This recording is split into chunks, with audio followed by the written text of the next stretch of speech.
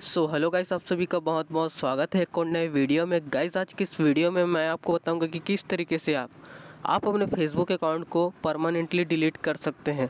जी हाँ दोस्तों, कई बार क्या होता है कि आप अपने नाम से बहुत सारे अकाउंट को क्रिएट कर देते हैं।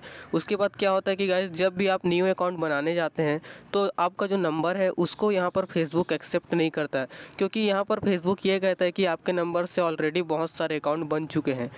तो गाइस आज की इस वीडियो में आपको बताऊँगा कि किस तरीके से आप जो भी फालतू के अकाउंट है, उसको आप परमानेंटली डिलीट कर सकते हैं। तो अगर आप जानना चाहते हैं तो हमारे साथ इस वीडियो में शुरू से लेकर अंत तक बने रहिए। तो चलिए वीडियो को स्टार्ट करते हैं। तो गाइस सबसे पहले आपको यहाँ से फेसबुक एप्लीकेशन को ओपन कर लेना है। ओपन कर लेने के बाद दोस्तों, यहाँ से आपको थ्री डॉट पर क्लिक कर देना है। आपको चले जाना है यहाँ पर सेटिंग पर। सेटिंग पर जाएँगे। सेटिंग सेटिंग पर आ जाने के बाद दोस्तों आपको यहाँ पर एक ऑप्शन देखने को मिलेगा। आपको यहाँ पर नीचे आ जाना है, ठीक है? यहाँ पर आप देख सकते हैं अकाउंट ऑनरशिप एंड कंट्रोल ठीक है? इस पर आपको यहाँ पर क्लिक कर देना है, ठीक है? इस पर क्लिक कर लेने के बाद दोस्तों आपको यहाँ पर सेकंड ऑप्शन आप देख सकते हैं डीएक्टिवेट डीएक्टिवेशन एंड डिलीशन ठीक है, इस पर आपको क्लिक कर देना है। इस पर क्लिक कर देने के बाद दोस्तों आपको यहाँ पर दो ऑप्शन देखने को मिलेंगे। आप चाहे तो यहाँ से आप अपने फेसबुक अकाउंट को डीएक्टिवेट कर सकते हैं और यहाँ पर सेकेंड ऑप्शन देख सकते हैं डिलीट अकाउंट यहाँ से अगर आप डिलीट करेंगे तो आपको जो अकाउंट है यहाँ पर परमानेंटली डिलीट हो जाएगा। यहाँ से सेकेंड ऑप्शन पर क्लिक कर देना है। यहाँ से आपको कंटिन्यू अकाउंट डिलीशन पर आपको क्लिक कर देना है, ठीक है?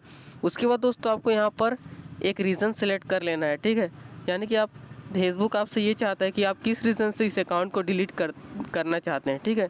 आपको यहाँ पर एक रीज़न सेलेक्ट कर लेना है और यहाँ से आपको कंटिन्यू टू अकाउंट डिलीशन इस वाले ऑप्शन पर आपको सिंपल क्लिक कर देना है। तो गाइज़ जैसे ही आप इस पर क्लिक कर देंगे तो आपको जो अकाउंट है यहाँ पर तीस दिनों के अंदर यहाँ पर सस्पेंड हो जाएगा, यानी कि डिलीट हो जाएगा। तो गाइज़ इस तरीके से आप अपने फेसबुक अकाउंट को बहुत आसानी से डिलीट कर सकते हैं। गाइज़ आपको एक बात का ध्यान रखना है जैसे ही आप यहाँ पर अकाउंट को डिलीट कर देते हैं तो आपको कम से कम तीस दिनों तक आपको इस फेसबुक अकाउंट को लॉगिन नहीं करना है।